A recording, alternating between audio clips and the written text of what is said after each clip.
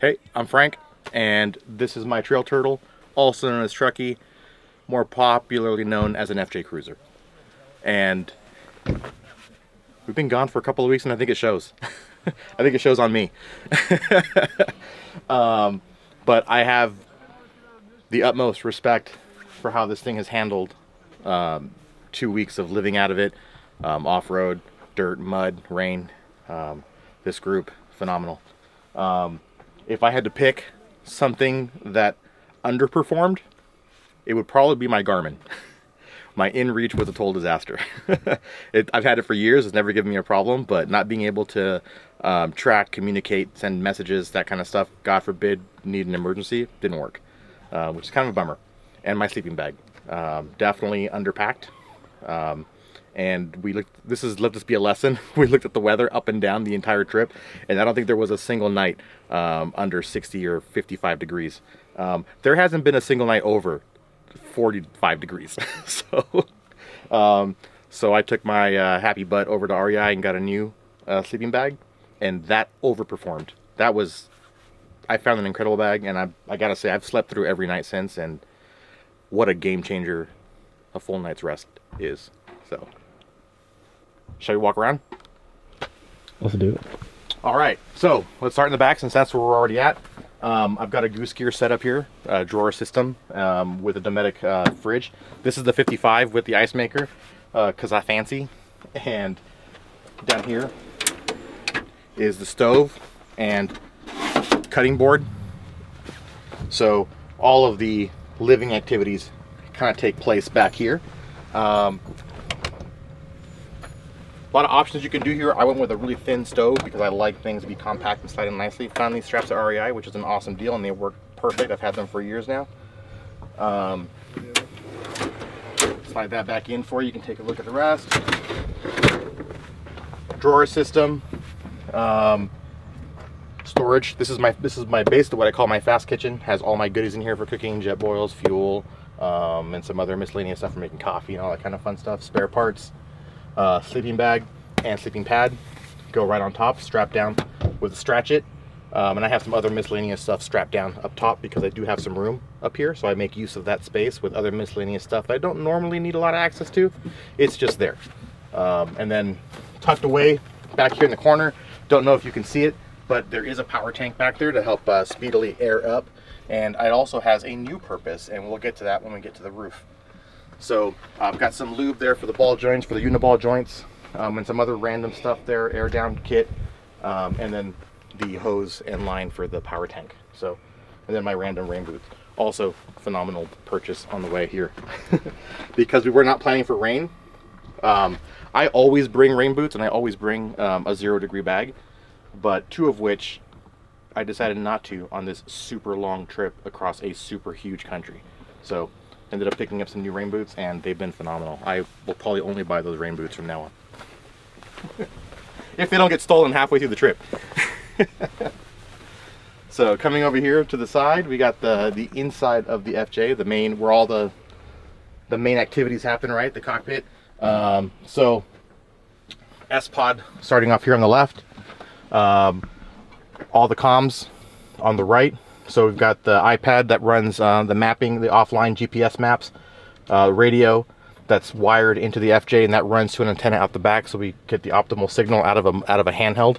Um, eventually I will put a mobile unit in there, but that handheld has been phenomenally good um, with range once it runs to an external antenna. So um, Goose Gear platform continues to the back. I've got a seat delete system here. Uh, so I can, so before I put in the um, drawers and the fridge. This used to be kind of a stealth camping where I could sleep back here if I wanted to in the sleeping pad. Um, incredible anchor points. Um, I, have got a tote that goes back here. Um, and then on the other side, we'll get to that in a sec. First aid kit, always readily accessible. We've actually needed that on this trip. Uh, why, is, why, Frank? Um, I don't know if you can see it now, but I actually cut my finger, um, of all things, on a buckle. This guy, actually, specifically this dull, non-sharp, rounded buckle, I crushed it like this right there. And I think it was the crushing pressure that just broke the skin open. Um, so I needed stitches. And that was night one. like the morning of night one. Got up, was packing up, pulled the cinch strap, and they got caught between a carabiner on the other side, and it just crushed it. And um, thanks for uh, Jesse and Robert for helping me out with as I held it shut to stop the bleeding. Um, they helped wrap it and keep it uh, clean and, and, and whatnot. And then we I went to the urgent care in Moab, which by the way is a very nice facility. And the doctor and the nurses are super hilarious, great sense of humor. But they stitched me up, and um, actually Bond um, took the stitches out last night. So that was a kind of fun little camp thing. We got to sit around and he pulled the stitches out, and it's been great since. Got it all back. It's fully functional. So not only did I cut my finger, got it stitched, it healed all during the trip. That's how long this trip is.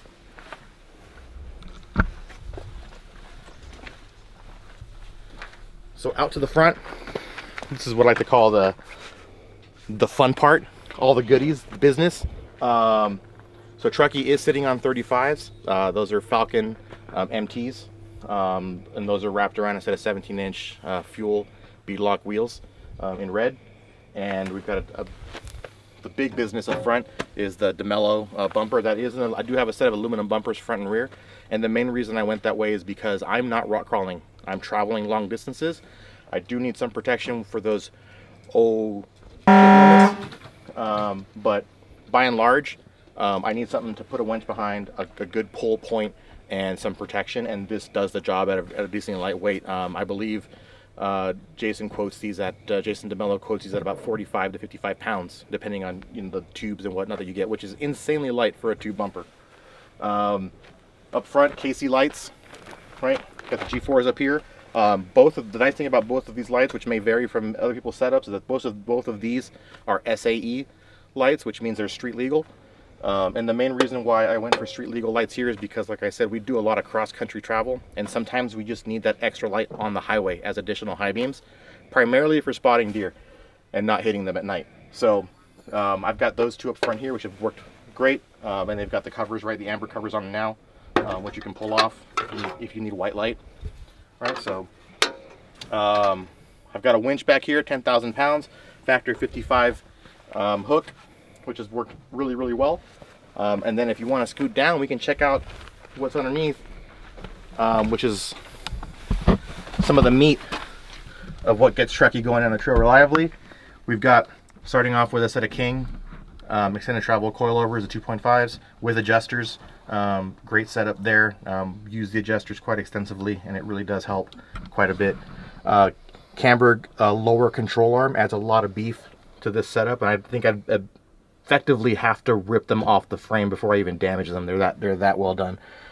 Camburg um, billet uppers with uh, both of them have a uniball up and up and bottom, uh, which help maximize your articulation and it's been running strong and reliably and smooth ever since. So super beefy setup up front. And again, those for those moments when you just plan plan for the worst and expect the best. Over here, aluminum skid plate made by Asfir. Um, great company. Um, they've been they make some really cool stuff. Uh, they pride themselves on making things that are direct bolt-on, so you don't have to add any special things to it or um, make any new holes or whatnot. Which, true to form, is exactly what happened here. You can see I already kind of gave it a good little yanger on a rock and it's been doing fantastic. Up front I've got some new headlights. Um, this is just because factory headlights are just never that great I think on a lot of vehicles. So I've got some projection LED headlights added in here. Um, I've got the KC light bar up top. That's a 50 inch um, light bar up there with the round uh, Gravity Pro 6s and then of course the custom Truckee light covers. Um, I've got my dead man all the way up top, um, which is always great for extra recovery gear. Um, acts it, that that thing is a lot more than just a recovery kit. We've used it for a lot of things on various trips. It could be a ground mat for getting underneath the vehicle. It could be a tree saver. It could be throw it around a rock to winch yourself out.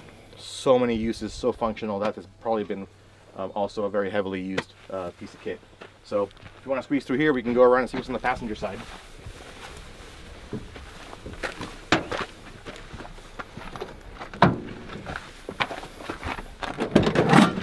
So we'll start down below, which is the another set of DeMello sliders. Um, same thing, I put those in the truck fairly early and they've been rock solid ever since.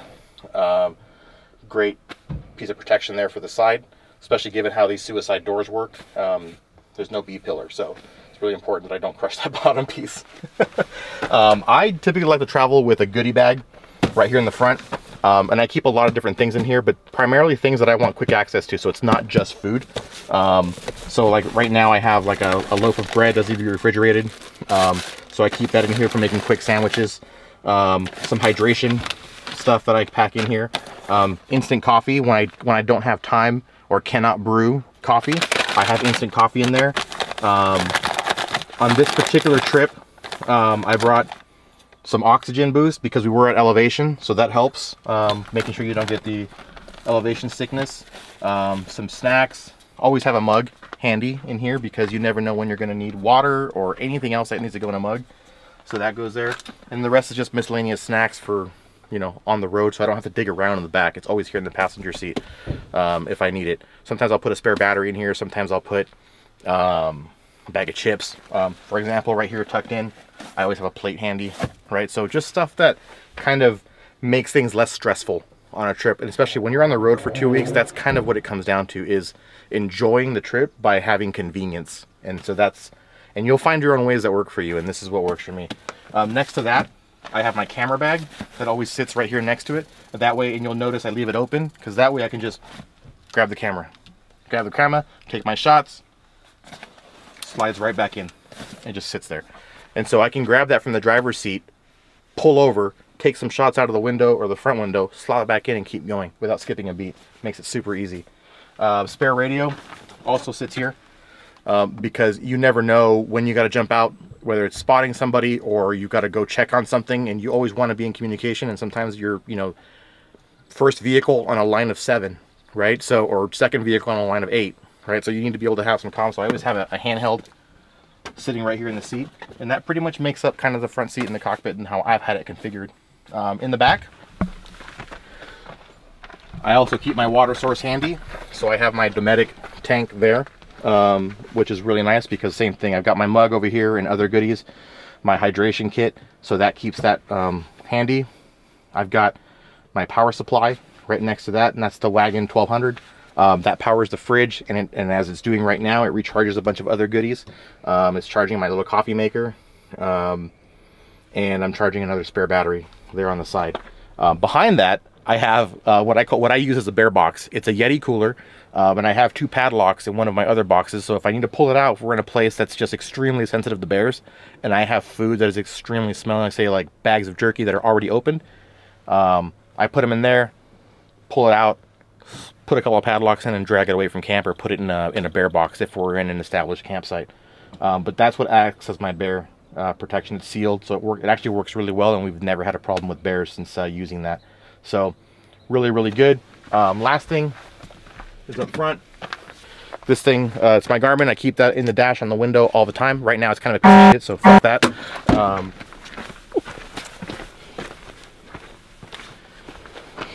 should we climb on the roof? Can you give me just kind of a, a overhead kind of view from yeah. here? So, out and back, um, the newest addition to the roof is the Yakima Road Shower up here on the on the left, and that thing has been a game changer. That's a seven-gallon aluminum pressurized tank. Um, it's it heats up with the sun because it's black and it does really well. Um, I think at the last campsite I took a, a 95 degree shower, which was pressurized, which was completely game changing. Um, the hose tucks nicely underneath or on the lower side, adjustable valve. I mean, it really is as simple as it is. It's a game changer. It's got a safety blow-off valve, which was super useful when, we when we went from sea level up to 14,000 feet in elevation. Super handy to be able to know that that thing, when it overpressurizes, will safely blow off on its own. Um, I brought one Rotopax for this trip. Uh, we did some research there, and uh, we found that we were crisscrossing quite a few little mountain towns, and all of them happened to have fuel, so didn't stress too much about that and kept it simple. Up on the front, which you can't really see, it's got traction boards. I think you know what those look like. They're pretty standard, um, and they're still up there, so that's good news. This bad boy is probably one of the funnest and most engaging things I've added to the FJ, and that's my Overland Vehicle Systems 270 degree awning. I say that because when that thing comes out, it comes out to about here, and it covers the entire back end of the FJ, and it's so big that it it quickly draws kind of whoever we're camping with and this just becomes kind of the hangout area. So it's kind of more of like the social engagement, like just what have we been doing? We all pull our chairs out, have a good time. So this thing has been really good for just kind of rallying and just having fun and kind of just once that thing comes out, it's time to chill. So I love it. Um, I've had that for a good like three years now, and it's been utterly flawless in snow, rain, wind. Um, just do what you got to do to anchor it down and you know for the respective situations, and it's been absolutely perfect. So Really That- appreciate really appreciate you showing us your rig. Craig. Thank you. yeah, absolutely. I appreciate you taking the time to walk around with me. If you got any questions, you can shoot them at me at Trucky McTruckface on Instagram.